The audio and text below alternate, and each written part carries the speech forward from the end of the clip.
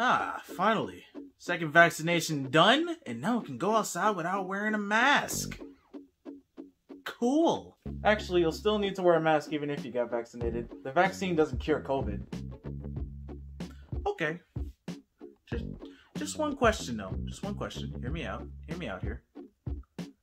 How did you get into my house again? Your window was open, so I climbed in. Okay, that raises another question. How did you, a thick boy, get through the window? One word. Butter. Oh, so now we're sliding through each other's houses. Is that what we're doing? Well, originally I was gonna come back over here to try to sell you some cleaning supplies and hand sanitizer, but I overheard you say that you were gonna go outside without wearing a mask, even though you're vaccinated. Well, yeah, is that a problem? Yeah, it is a problem. Well, then what's the problem? I mean, just because you got vaccinated doesn't mean you can go out without a mask. I mean, come on, at the very least, carry one with you so you don't look stupid. That's what I was gonna do, though. Oh, well, okay then. I'll, I'll just head out. Finally. But first! Oh god, not again! Shit.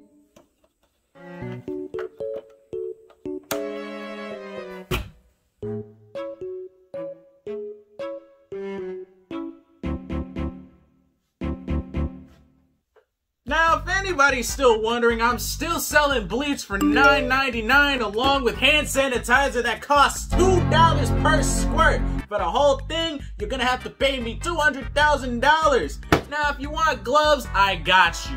A pair of gloves from this guy will have to cost you $100 per pair. For the whole box, you're gonna have to pay me a million. Take it or leave it. Why are you selling gloves for $100 a pair? Bro, do you have any idea how expensive these are at Target and Walmart? Oh yeah, I'm sure $5 a box is very expensive. Bro, my guy, my compadre, my friend, my amigo. Do you know how many strings I had to pull to get these to my house? Let me guess.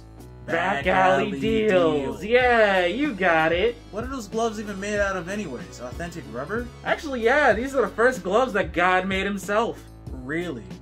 So you're telling me that God made those gloves? Exactly. You really got the whole squad laughing on this one. So, you want to buy them? No.